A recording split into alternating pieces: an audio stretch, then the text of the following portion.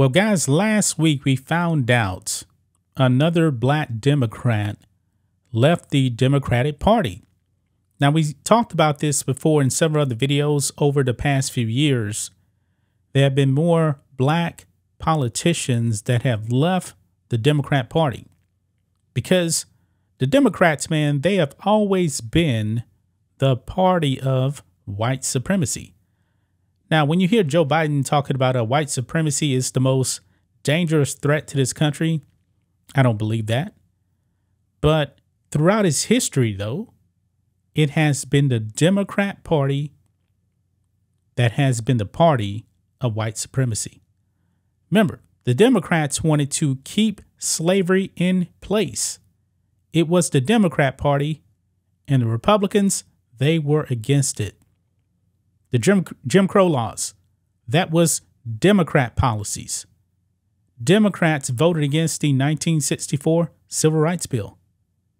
This is their history, man. But um, Democrats, they have tried to spin the narrative for so long, man, to keep black people on that plantation of voting Democrat that they paint Republicans as the party of racism and white supremacy. I don't know who the PR person is for the Democrats, but I got to tell, tell them this. They have done one hell of a job of convincing people that Republicans are the party of racism with no evidence whatsoever. None. Now, the Democratic presidents, or should I say, the presidents in this country that have actually owned slaves, guess what? They're all Democrats when there was a Democratic Party, when there was a Republican Party, they were all Democrats, and some people may bring up uh, Ulysses S. Grant. Technically, yes, he owned a slave, but however, it was the slave of his wife's father. They got married, I believe her father died, and she couldn't actually inherit those slaves, I believe, or the slave. And Ulysses S. Grant, he was opposed to slavery and he freed him. So technically, no, he didn't really own slaves. Well, flash forward now. Let's talk about Mesha Mainor. Now, Mesha Mainor is the um, the former Democrat from Georgia that left the Democratic Party and became a Republican because the Democrats didn't like the way that she voted.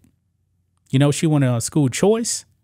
She didn't want to defund the police. That is the priorities of the Democrats. That's what they want. She doesn't want that. She wants parents to actually put their kids in schools of their choice. But the Democrats didn't like that. So she said goodbye. And she also said that Democrats have been taking advantage of black people for decades. She's absolutely right, guys. Now, the Democrat Party is also the party of the Klan, too, by the way. The Klan started out in Tennessee by all Democrats. All Democrats, guys. But the Democrats have always tried to spin that the Republicans support the Klan. Not the case. Not the case. The Republican Party has never been a party of the Klan it has always been the Democrats. And if you need another example, guys, it's pretty much on full display, guys, who the party of white supremacy is because um Mesha Mainor came out and dropped some some receipts on Democrats responding to her about her joining the Republican Party, guys.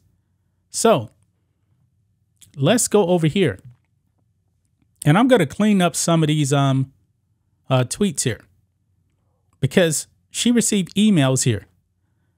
Look here, she says, Dear Florida Democrat, sorry you feel this way about black Americans and Haitians. Democrats have a long unfavorable relationship with Haitians. Uh, your sentiment isn't surprising. I pray you find support at the University of Central Florida for your hate and anger. And she received an email here and it says, um, "What are your what what concerns you?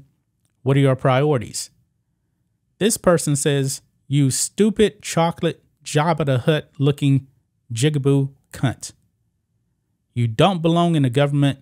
You belong in the fields picking cotton or in my kitchen cooking and cleaning my floor. Go back to Haiti. Yeah, this is disgusting here, guys. Disgusting. Let's go to another one here.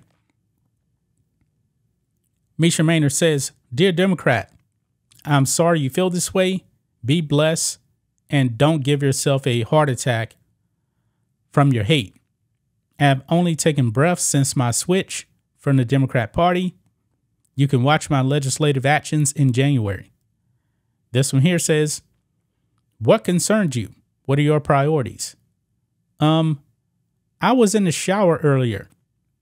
Y'all spear chunkers, referring to black people, need showers. You stink, lol.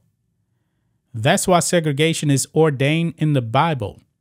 Don't tell me that you're sorry that I feel this way. This isn't what I feel. This is what I know. Wow. Now, the next one here, how would you like to help? And this person says all that N words are good for is for, for, I don't even know if I can even say that there. I, I'm not even sure. It's, I, they may, may have meant to say cooking. I don't know but it says not representing us in the legislature. You dumb silverback mammy. Whoa. She's not done yet either. Here we go again. All this is all these are put on Twitter like in the last like four or five hours. Another one here. Dear Democrat, I'm sorry you feel this way.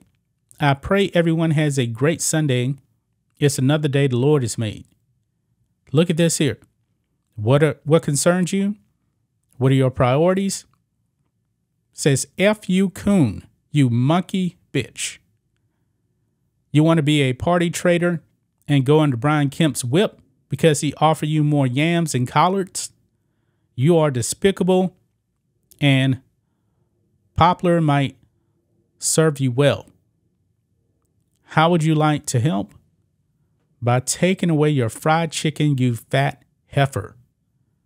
My goodness. Democrats dropping a whole lot of N words here, too, by the way. Look at this next one. She just says, um, Dear Democrat, I'm sorry you feel this way. And the Democrat says this You N word bitch. You need to get back on the plantation before Massa Stacey whips, whips your ass back into shape. I don't think Stacey Abrams is whipping anybody back into shape. Look at her. But anyway. Um, you need to stop eating your fried chicken and watermelon with Vernon Jones and get back uh, Miss Nat Turner. And of course, you know, Democrats don't like Vernon Jones because um, Vernon Jones left the Democrat Party as well, black man, and a huge Trump supporter. Man, here's another one here. Another one here is telling her to kill herself. Right here. This be killing herself. How would you like to help? Convincing conservatives and their dipshit children to commit suicide is the greatest service one can offer to humanity. I mean, my goodness. Here is one more. I believe this may actually be the last one. No, there's still more here. My goodness. She says, Sorry you feel this way. And thank you for the hundreds uh, sending well wishes. This person says, You dumbass, you dumbass Aunt Jemima, mother effing traitor. I'll be sure to take a good chunk of my retirement savings, which is substantial, and will donate it to whoever it is that will be running against you. You self hating black nigress bitch. My God. This one here. She replies again Sorry you feel this way. I would like to help your retarded black ass by telling you this is what the person says. That saying, you would support any candidate picked by the GOP during the primary is retarded. Not only is I think they meant, is it retarded you live up uh, to the word N word by just following blindly? Remember, you were a Democrat and, quote, felt abandoned to become Republican, and now you're going to follow blindly like you did with your party. You're the stain of society that needs to be flushed. I wish you the absolute worst in your political history. You Uncle Tom bitch. Man. The Klan hoods on full display, guys. On full display right there. Disgusting emails that were sent to Mesha Mainor. Black people better wake up, man. This is the Democrat Party right here. They haven't changed. They haven't changed at all. Look what they're, what they're doing right now. They're still the party of racism. They still are. It is absolutely disgusting, guys. Just the other day, a Republican, I believe this was actually in the House, he referred to um, minorities as um, colored people. And guess what happened? This Democrat got outraged. But they have no problem being called people of color. And by the way, colored is actually in the name of the NAACP. It stands for the National Association for Advancement of Colored People. And they tried to paint him as a racist. This is utterly ridiculous, guys. This is disgusting emails also that were sent to Mesha Mainor. That's just my thoughts on this. What do you guys think of this? Black and White Network fans, let us know what you think about all this in the comments. Make sure you subscribe to the channel. And we will catch you next time.